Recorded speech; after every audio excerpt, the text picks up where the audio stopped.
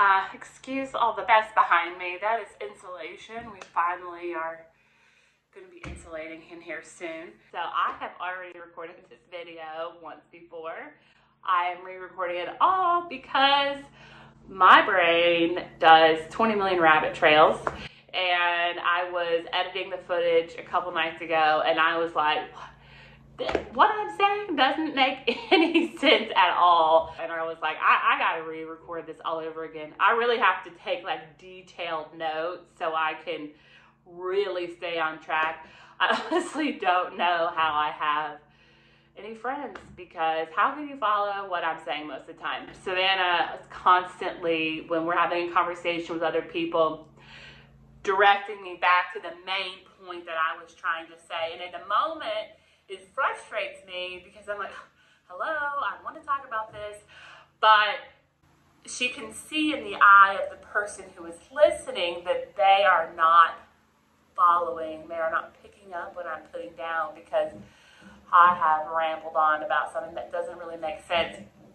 And and when I watch a video that I recorded, it is very apparent that she is right in that concern.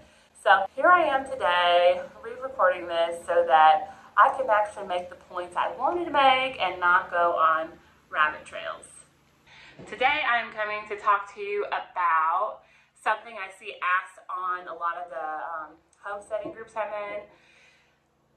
People want to know, how do they know what to start in their garden? You know, if you're if you're new to homesteading, this is your first year and you're thinking about growing your own food, it can be very overwhelming to figure out what to pick out and to even know where to begin. So that is what I want to help you with today. I would first suggest, and this is probably the most fun part, is to order a seed catalog. You can find them at like places like Tractor Supply or a bookstore, or you could just go on a website and ask and request one. So like Territorial Seed is one. They sent this one. Um, and it's really great. So just to show you, you know, they have all these pictures and they kind of tell you what to expect, how long it takes for that to grow, so on and so forth. Baker Creek has probably the most sort of famous one and the most beautiful one. They have a free one and also one that is paid. The paid is like, I mean, it's five or 600 pages.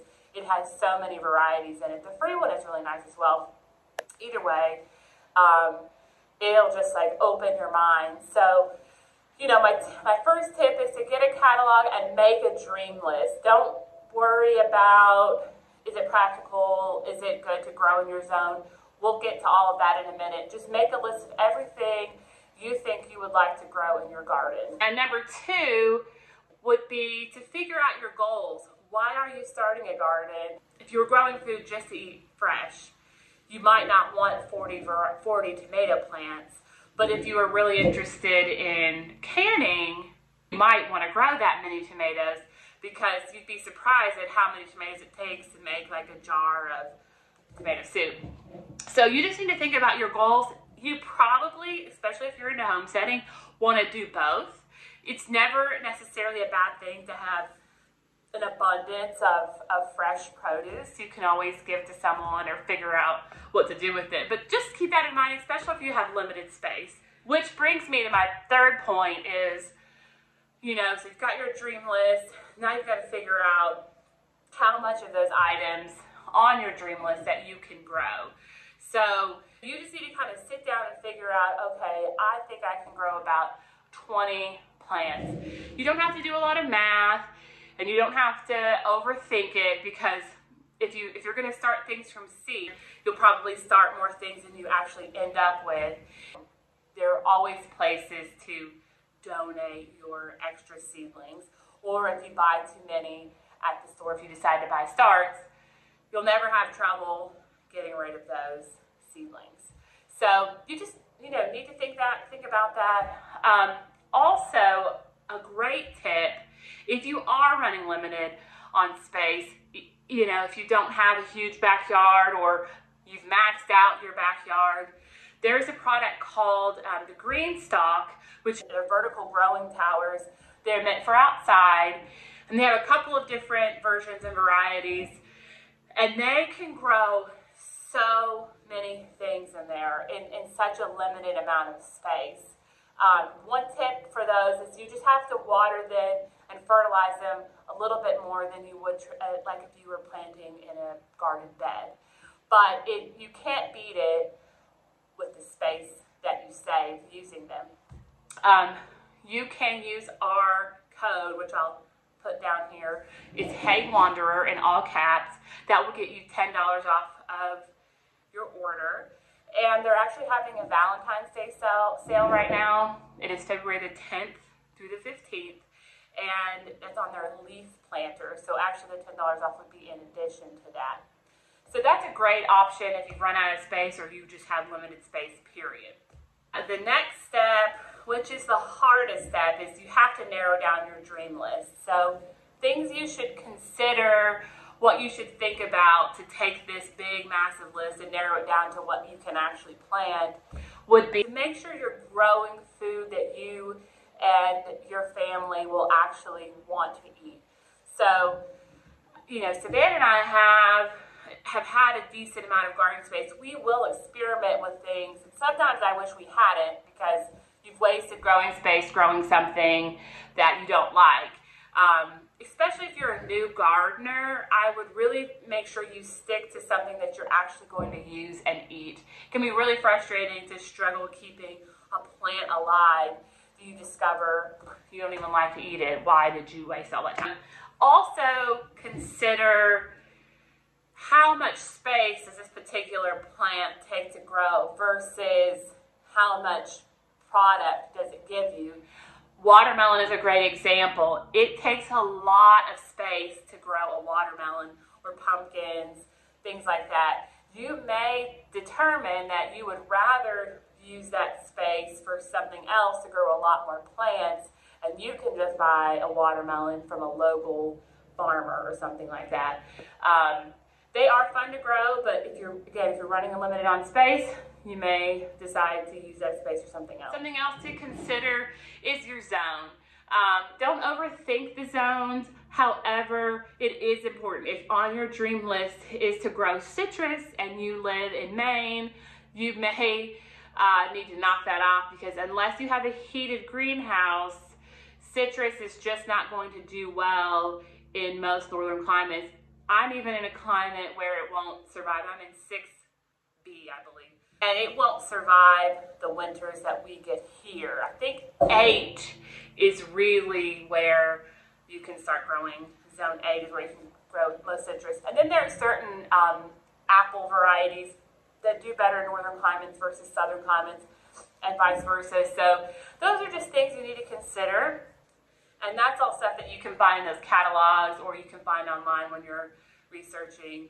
Um, Zones just also determine when you can plant out your uh, seedlings or put out the seed. Also something to keep in mind is disease resistance. So there are certain varieties that are more disease resistant and pest resistant than other things. Um, like we, we have a really big problem with squash bugs and squash vine borers. And there are certain squash varieties that are less susceptible to those pests than others. You will find that kind of information out in like local gardening clubs. I highly recommend plugging in with one of those. From our old neighborhood, we were a part of a really great Facebook group and I could get a lot of really localized information. So those are that's a great place.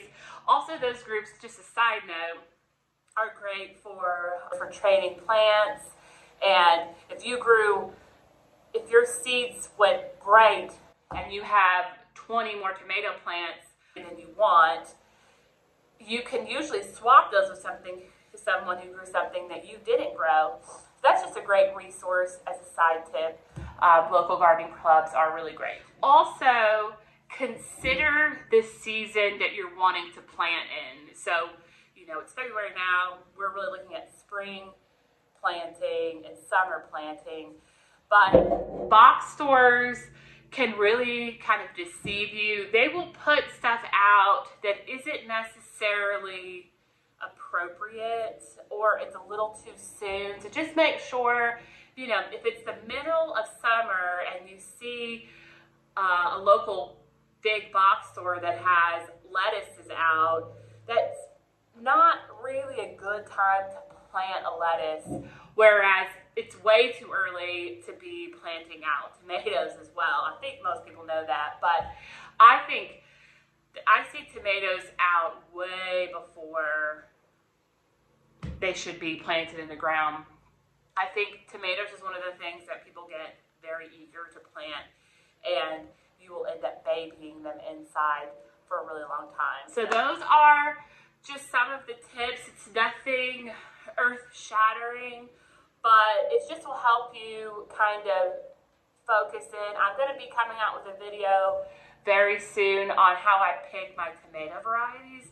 There are so many of them and it's kind of overwhelming when you see like the hundreds and hundreds of varieties of tomatoes to kind of how to figure out what to grow. So I'll be going through what I'm going to be growing this season that I hope I have room for um, and what made me choose those.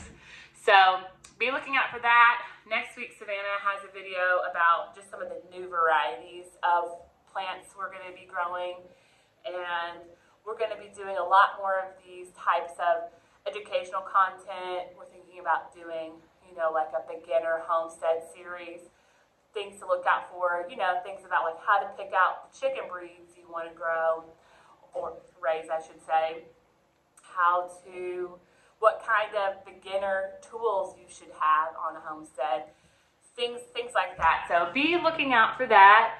Um, Thank you so much for watching. If you have any questions about kind of planning out your garden or figuring out what you're going to grow, please leave them below. I do read your comments and try to respond to everyone. Uh, we thank you so much for your time. Thank you so much for watching. Have a great day.